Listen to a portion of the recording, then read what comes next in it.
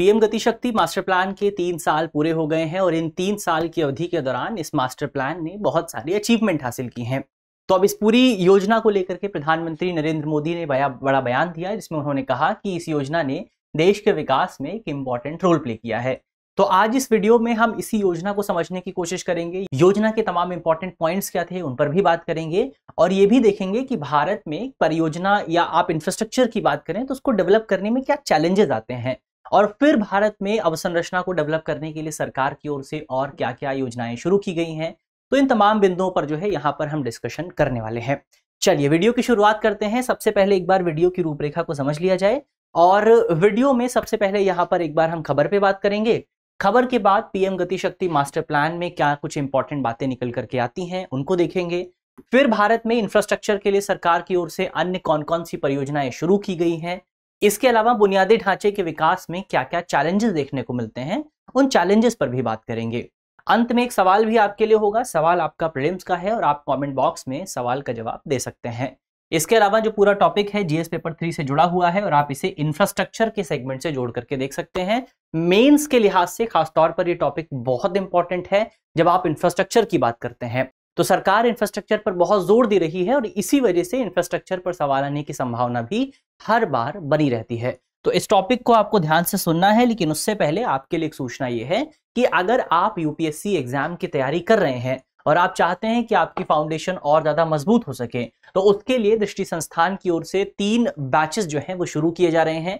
Foundation batch है, जैसे करोल बाग का हिंदी माध्यम का फाउंडेशन बैच जो है, वो तेरह नवंबर से शुरू होने वाला है।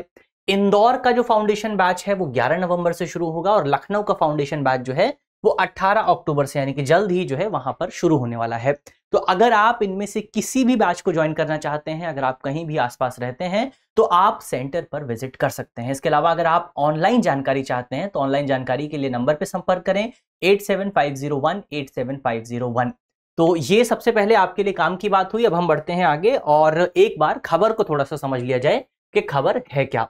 तो खबर पर अगर आप बात करें, खबर है कि पीएम गति शक्ति राष्ट्रीय मास्टर प्लान के जो है, तीन साल पूरे हो गए हैं।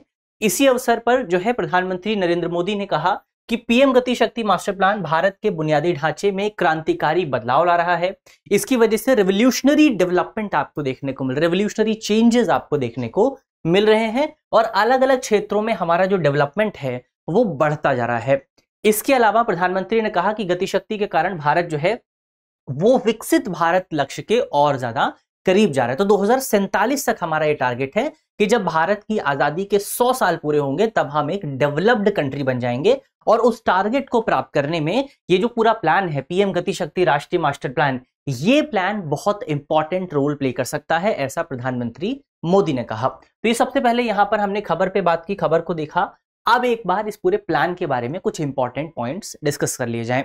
तो हमने बात की कि इस पूरे प्लान के तीन साल पूरे हो गए हैं। तो तीन साल पूरे होने का मतलब यह है कि इस प्लान को 13 अक्टूबर 2021 को लॉन्च किया गया था। तो इसकी लॉन्च डेट कब थी? 13 अक्टूबर 2021 इसके अलावा इसके उद्देश्य की अगर आप बात करें तो इसका उद्देश्य है कि विभिन्न क्षेत्रों के लिए मल्टी मॉडल कनेक्टिविटी को के बुनियादी ढांचे को मज़बूत करना। यानी ओवरऑल संक्षेप में आप कहें तो इसका टारगेट यही है कि भारत में हमें जो इंफ्रास्ट्रक्चर है, चाहे आप उसमें रेलवे की बात करें, चाहे आप उसमें सड़कों की बात करें, पुल की बात करें, चाहे आप बात करें वहाँ पर बंदरगाहों की तो सभी चीज़ों को कनेक्ट करना और फिर उनको डेवलप करना, ये प्लान ये जो पूरा लक्ष्य है, वो इस पूरे प्लान के तहत डिसाइड किया गया है। और कुछ लक्ष्यों की बात करें आप तो इसमें पहला लक्ष्य है आर्थिक विकास और सस्टेनेबल डेवलपमेंट को बढ़ावा देना, यानी कि इकोनॉमिक डेवलपमेंट और सस्टेनेबल डेवलपमेंट को बढ़ावा देना। दूसरा टारगेट है भारत में लॉजिस्टिक लागत को कम करना और विलंब को घटाना। अब यहाँ पर मतलब क्या है? लॉजिस्टिक लागत को कम करने का मतलब यह है कि भारत में एक सामान को दूसरे स्थान एक स्थान से दूसरे स्थान तक ले जाने में जो लागत आती है उस लागत को कम करना। यानी कि अगर आप इस पेन का एग्ज़ाम्पल लेते हैं तो अगर इस पेन का निर्माण महाराष्ट्र में होता है और इसको आपको दिल्ली लेकर के आना है तो उस पेन की कीमत इस पूरे जो लेके आने का जो खर्चा है उस ख, वो खर्चा आपका इस पेन की कीमत में ऐड हो जाएगा। तो पेन की कीमत आपकी बढ़ जाती है जिसकी वजह से महँगाई बढ़ जाती है। तो ऐसे में सरकार का टारगेट यह है इस पूरे प्लान के माध्यम से कि हमें लॉजिस्टिक लागत को कम करना है यानी कि इस पेन को मुंबई से दिल्ली लाने की जो लागत है उस लागत को कम करना है। अब ये लागत कम कैसे होगी? ये लागत कम होगी। अगर मान लीजिए आप वह जो है सड़क परिवहन बहुत बेहतर बना देते हैं, मान लीजिए आप वहाँ पर जो है हाईवे का, डायरेक्ट हाईवे का निर्माण कर देते हैं तो मुंबई से कोई वाहन चल करके या फिर कोई गाड़ी जो है वो चल करके सीधे आपका दिल्ली आ सकती है तो इसके माध्यम से आप आसानी से जो टाइम है उसको कम कर सकते हैं और जो कॉस्ट है, क्योंकि अगर आपका हाईवे डायरेक्ट होगा कहीं भी आपको नहीं रुकना तो इसकी वजह से आपका जो पेट्रोल है वो भी कम लगेगा, दूसरे जो साधन है वो भी कम इस्तेमाल होंगे तो आपकी जो लॉजिस्टिक की लागत है वो लागत भी कम हो जाती है तो इससे देश में महँगाई भी कम होगी। इसके अलावा नए अवसर पैदा करने पर भी यहाँ पर ज़ोर दिया जाता है, नई अपॉर्चुनिटीज़ पर और अलग अलग परियोजनाओं के तीव्र क्रियान्वयन, यानी कि स्पीडी इंप्लीमेंटेशन पर भी ज़ोर यहाँ पर दिया जाता है इस पूरे मास्टर प्लान के अंतर्गत। इसके अलावा इस पूरे मास्टर प्लान में सात क्षेत्रों पर खासतौर पर ध्यान केंद्रित किया जाता है। कौन कौन से सात क्षेत्र हैं? तो सबसे पहला है इसमें रेलवे। रेलवे पर ध्यान केंद्रित किया जाता है। यानी कि रेलवे के डेवलपमेंट पर, रेलवे के इलेक्ट्रिफिकेशन पर, रेलवे के मॉडर्नाइजेशन पर ध्यान केंद्रित किया जाता है। इसमें सड़कें बनाई जाती हैं, बंदरगाह बनाए जाते हैं, जलमार्ग बनाए जाते हैं इसमें। यानी कि इनलैंड वाटरवेज यहाँ पर डेवलप किए जाते हैं।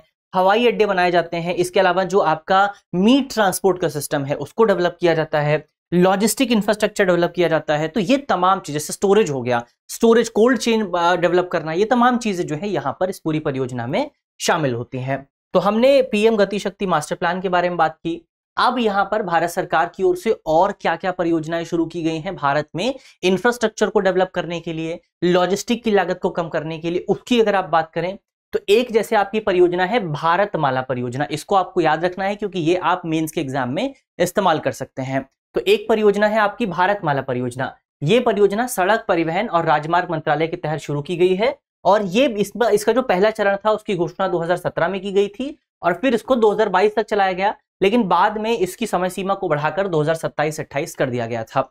अब इसमें होता क्या है भारतमाला परियोजना में?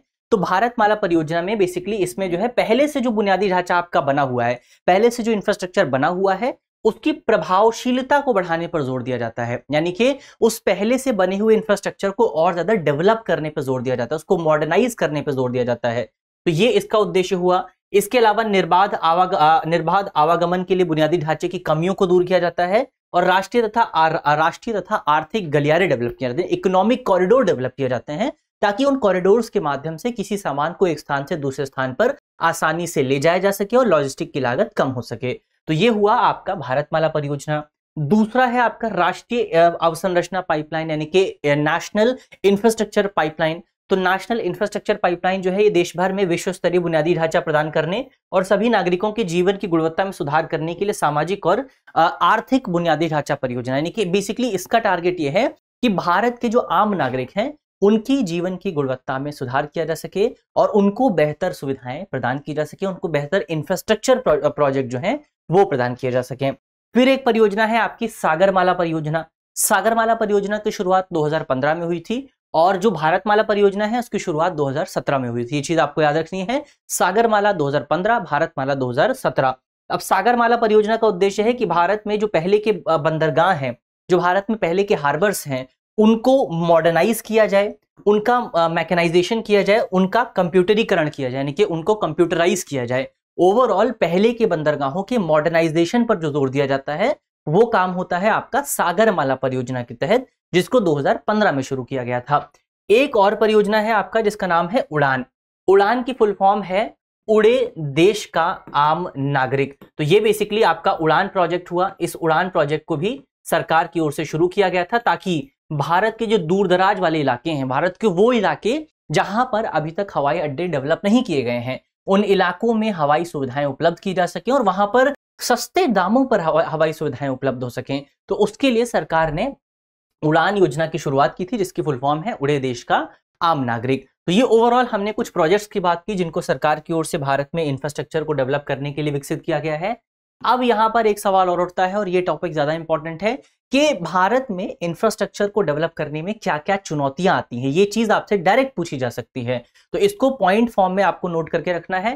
पहली जो चुनौती है वो है आपका फ़िज़िकल इंफ्रास्ट्रक्चर की चुनौती। सबसे पहले जो चुनौती आती है वो लैंड एक्विजिशन की आती है। भूमि अधिग्रहण, अधिग्रहित करना और फिर उस भूमि पर पहले से जो लोग मौजूद थे, उन लोगों के पुनर्वास की व्यवस्था करना, ये भारत में सबसे बड़े चैलेंज के तौर पर सामने आता है। तो लैंड एक्विजिशन एक सबसे बड़ी समस्या है।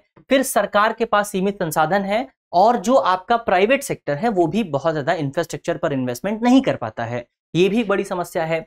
इसके अलावा जटिल परियोजनाओं के लिए जो आपको तकनीक की ज़रूरत होती है, जिस तरह की स्किल की आपको ज़रूरत होती है, वो स्किल भी आपको भारत में ज़्यादा देखने को नहीं मिलती। है भी एक बड़ी समस्या है। फिर अगर आप राजनीतिक और नियामक समस्याओं की बात करें तो भारत में आपको स्वीकृति प्राप्त करना, अपने प्रोजेक्ट के लिए अगर आपको मंजूरी लेनी है तो आपको पहले अलग अलग जगह पर जाना पड़ता था। हालाँकि इसके लिए सरकार ने कई प्रयास किए हैं और इन प्रयासों का एक एक पहलू ये भी है कि अब भारत में आपको एक प्रोजेक्ट शुरू करने के लिए या फिर जो तमाम क्लियरेंस की आपको ज़रूरत होती है, उन क्लियरेंस को एक ही window single window clearance system की शुरुआत जो है, वो सरकार की ओर से की गई है। लेकिन अभी भी बहुत सारे प्रोजेक्ट ऐसे हैं जहाँ पर अगर आपको मंजूरी की ज़रूरत है, अगर आपको स्वीकृति चाहिए तो आपको अलग अलग जगह से जाकर के अपनी अपनी अनुमति जो है, लेनी पड़ती है। तो यहाँ पर प्रक्रिया में बहुत ज़्यादा देरी होती है। फिर समुदाय का विरोध अक्सर आपको देखने को मिलता है। इसके अलग अलग पहलू हो सकते हैं कि समुदाय का विरोध अच्छा है या खराब है।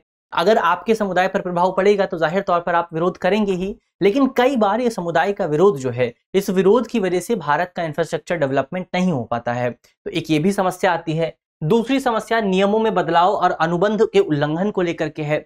यानी कि भारत में जो कॉन्ट्रैक्ट्स होते हैं, उनको सही ढंग से फॉलो नहीं किया जाता। इसकी वजह से जो कंपनियाँ होती हैं जो विदेशी कंपनियाँ हैं वो भारत में आकर के काम नहीं करना चाहती हैं क्योंकि उनको विश्वास ही नहीं होता है कि अगर हम वो भारत में अनुबंध करेंगी तो कोई उस अनुबंध को पूरा करेगा भी या नहीं करेगा। तो ये भी एक बड़ी समस्या है। फिर सरकारी भुगतान में रुकावट और भविष्य के निवेश प्रभावित होते हैं। जैसे आप सरकार का कोई प्रोजेक्ट करते हैं सरकार के आ, सरकार का कोई प्रोजेक्ट का कॉन्ट्रैक्ट लेते हैं तो उस कॉन्ट्रैक्ट में सबसे पहले तो आपको रेड टेपिज्म देखने को मिलता है लाल फीताशाही देखने को मिलती है फिर भुगतान भी बहुत देरी से आता है तो ये भी एक बड़ी समस्या रहती है। इसके अलावा कुछ फ़िज़िकल चैलेंजेस आपको देखने को मिलते हैं। फ़िज़िकल चैलेंजेस जैसे कि भारत में अगर आप देखें तो भारत में आपको अलग अलग तरह के जियोफिजिकल फीचर्स देखने को मिलते हैं। कहीं पर समतल ज़मीन है, कहीं पर आपको पठार मिलेंगे, कहीं पर आपको पहाड़ मिलेंगे, कहीं पर आपको रेतीला मैदान मिलेगा। तो ये अलग अलग जो पूरा पूरा भौगोलिक स्ट्रक्चर जो आपको मिलेगा, यहाँ पर कुछ इलाकों में इंफ्रास्ट्रक्चर डेवलप करना बहुत मुश्किल होता है। खासतौर पर आप जहाँ बात करें जहाँ पर पर्वत है तो भारत का जो हिमालयी इलाका है या फिर भारत का जो नॉर्थ ईस्टर्न इलाका है या फिर वेस्टर्न घाट का जो इलाका है, इन इलाकों में खासतौर पर जहाँ पहाड़ हैं, वहाँ पर आप जो है प्रोजेक्ट नहीं लगा सकते हैं। इसके अलावा जहाँ पर नदियाँ हैं, जो आपके कोस्टल एरियाज़ हैं, ये जो तमाम आपके जियो फीचर्स हैं, ये भारत में इंफ्रास्ट्रक्चर डेवलपमेंट के लिए एक बड़ा चैलेंज पैदा करते हैं। जटिल इंजीनियरिंग समस्याएँ उत्पन्न होती हैं। मान लीजिए आपको पहाड़ों पर कोई प्रोजेक्ट लगाना है तो अब पहाड़ों पर किसी प्रोजेक्ट सबसे पहले तो वहाँ पर क्लियरेंस लेना ही बहुत मुश्किल होता है। और उसके बाद अगर आपको क्लियरेंस मिल भी जाता है तो वहाँ पर प्रोजेक्ट को बनाना एक बहुत बड़ा इंजीनियरिंग चैलेंज होता है। इंजीनियरिंग के माध्यम से वहाँ पर आपको बहुत सारे काम करने होते हैं। तो एक ये बड़ा चैलेंज भारत के सामने मौजूद है और ये ऐसा चैलेंज है जिसको आप पूरा भी नहीं कर सकते क्योंकि पहाड़ों की रक्षा करना, प्राकृति की रक्षा करना भी हमारी ही ज़िम्मेदारी है। तो ये चीज़ भारत के साथ आपको देखने को मिलती है। कई बार प्राकृतिक आपदाएँ भी भारत में प्रोजेक्ट्स को नुकसान पहुँचा देती हैं। कई बार बाढ़ आ जाती है, कई बार आपको जो है लैंडस्लाइड की घटनाएँ देखने को मिलती हैं। जैसे आप आप रिसेंट बात करें तो वायनाड में आपको देखने को मिला था, जहाँ पर बाढ़ और लैंडस्लाइड की वजह से तकरीबन 200 से ज़्यादा लोगों को अपनी जान गंवानी पड़ी थी। तो ये सिचुएशंस भी आपको जो है भारत में देखने को मिलती हैं। फिर एक समस्या आती है भ्रष्टाचार की। रेड टेप रेड टेपिज्म की भी एक समस्या यहाँ पर आपको देखने को मिलती है कि अगर आपको भारत में प्रोजेक्ट की शुरुआत करनी है तो आपको पहले सरकारी बाबुओं से होकर के गुजरना पड़ता है। वहाँ पर आपको जो है कुछ भ्रष्टाचार करना पड़ता है। वहाँ पर आपको पैसे देने होते हैं। तो ये समस्या भी बेसिकली आपका भारतीय नौकरशाही में देखने को मिल जाती है। तो भ्रष्टाचार और पारदर्शिता की कमी भारत में एक बड़ी समस्या के तौर पर सामने आता है। फिर एक समस्या भारत में डिजिटल डिवाइड को लेकर के है डिजिटल इंफ्रास्ट्रक्चर को लेकर के है। जब आप भारत में बात करते हैं तो भारत में आपको एक भारत नहीं मिलता है। भारत में आपको बहुत सारे भारत मिलते हैं। भारत में आपको एक शहरी भारत भी मिलता है, ग्रामीण भारत भी मिलता है और शहरी भारत के पास डिजिटल अवसंरचना ज़्यादा है, डिजिटल इंफ्रास्ट्रक्चर ज़्यादा है, वहाँ कंप्यूटर लैपटॉप टैबलेट फ़ोन इनकी संख्या ज़्यादा मिलेगी आपको जब आप कंपेयर करते हैं ग्रामीण भारत की तुलना में। तो ग्रामीण भारत में डिजिटल इंफ्रास्ट्रक्चर कम देखने को मिलता है। तो एक तो ये भारत हो गया, फिर आपका जेंडर के आधार पर भारत में डिवीज़न आपको देखने को मिलता है। एक बेसिकली भारत में एक बेसिकली एक तरफ़ आपको पुरुष देखने को मिलते हैं, एक तरफ़ महिलाएँ देखने को मिलती हैं। पुरुषों के पास कंपेरेटिवली अगर आप देखें तो डिजिटल इंफ्रास्ट्रक्चर तक एक्सेस ज़्यादा होती है, महिलाओं के पास एक्सेस कम होती है। फिर आप एक और देखें तो भारत में आपको जाति के आधार पर डिवीज़न मिलेगा, भारत में आपको कास्ट के कास्ट के आधार पर, धर्म के आधार पर डिवीज़न मिलेगा और ऐसे बहुत सारे आधार हैं। जहाँ पर आपको भारत में डिवीज़न देखने को मिलता है और इस पूरी डिवीज़न में एक तरफ़ वो लोग हैं जिनके पास संसाधन मौजूद हैं और एक तरफ़ वो लोग हैं जिनके पास संसाधन मौजूद नहीं है। तो ये ओवरऑल यहाँ पर हमने कुछ चैलेंजेस की बात की जो चैलेंजेस आपको भारत में देखने को मिल जाते हैं। अब यहाँ पर अपनी वीडियो को समाप्त करते हैं और आपके लिए एक सवाल जो है प्रिलिम्स का मौजूद है, जिसका जवाब आपको कमेंट बॉक्स में देना है। तो सवाल आप देखें, आज का हमारा सवाल है कि भारत में इंफ्रास्ट्रक्चर डेवलपमेंट की प्रमुख चुनौतियाँ कौन कौन सी हैं? तो हमारे जो ऑप्शन है ऑप्शन ए भूमि अधिग्रहण और वित्तीय समस्याएँ ऑप्शन बी राजनीतिक और नियामक जोखिम ऑप्शन सी भौगोलिक और मौसम संबंधी चुनौतियाँ। हमें बताना है कि इन तीनों में से कौन सा है और कौन सा नहीं है। तो हमें इन कूटों का इस्तेमाल करना है। कोड यहाँ पर आपके सामने है। ऑप्शन ए है, केवल एक और दो। ऑप्शन बी है, केवल दो और तीन। ऑप्शन डी है, केवल एक और तीन। या फिर ऑप्शन डी उपरोक्त सभी। तो इसका सही जवाब आपको कमेंट बॉक्स में बताना है। मुझे उम्मीद है कि इस वीडियो में हमने जितने भी इंपॉर्टेंट पॉइंट्स पर डिस्कशन किया है, वो पॉइंट्स आपको समझ में आए होंगे। और अगर वीडियो अच्छी लगी है तो वीडियो को लाइक करना शेयर करना बिल्कुल मत भूलिएगा। और अगर कंटेंट पसंद आ रहा है तो अपने दोस्तों को भी इस वीडियो के बारे में बताइएगा। और वीडियो की पीडीएफ जो है, वो आपको टेलीग्राम ग्रुप पर मिल जाएगी। टेलीग्राम ग्रुप का लिंक वीडियो के डिस्क्रिप्शन में है। तो ग्रुप से जुड़ना बिल्कुल मत भूलिएगा। मिलते हैं आपसे अगली वीडियो में। तब तक के लिए अपना ख्याल रखिए, ध्यान रखिए, पढ़ते रहिए। धन्यवाद।